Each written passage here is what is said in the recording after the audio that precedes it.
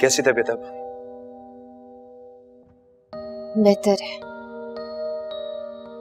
और जो थोड़ी बहुत ठीक नहीं है, वो इंशाल्लाह ठीक हो जाएगी।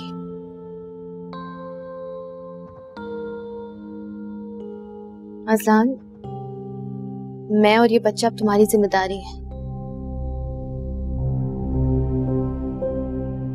अगर तुम बात बात पे अपना फ़ोन ऑफ़ कर दोगे तो हम कैसे तुमसे राब्ते में रहेंगे? तुम्हें लगता है मैं जानबूझ के अपना फ़ोन ऑफ़ करता हूँ? मुझे नहीं पता। सानिया अगर तुम्हें पता नहीं है तो पता कर लो। मेरी जॉब बहुत टफ है। काफ़ी दफ़ा काम पे कंसंट्रेट करने के लिए मैं अपना फ़ोन बंद कर देता हूँ। मतलब मुझे और तुम्हारे बच्चे को कभी तुम्हारी अटेंशन मिलेगी नहीं। घर में भी ना और बाद में ऑफ़िस सानिया फिर भी ना? बस कर दो यार प्लीज़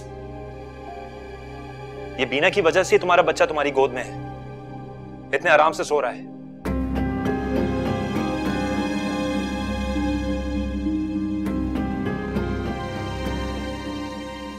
तुम्हें पता है तुम्हारी और तुम्हारी माँ का प्रॉब्लम क्या है? तुम लोग हर एहसान करने वाले को धुतकार देते हो। हम उसे उसके एहसानों की वजह से नहीं उसकी बदनीयती की वजह से धुतकारते हैं। सानिया अगर बीना बदनीयत होती ना तो आज वो मेरी बीवी होती।